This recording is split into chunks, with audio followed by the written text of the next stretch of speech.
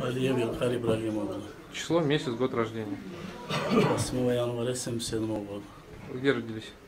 Грузия. В Грузии. На территории Москвы, Московской области давно находитесь? Да, да. Зарегистрированы? Приезжаю, выезжаю. А приезжаете, уезжаете. Вором в законе являетесь? Кабор. Уголовное имя? Ильгар. Ильгар.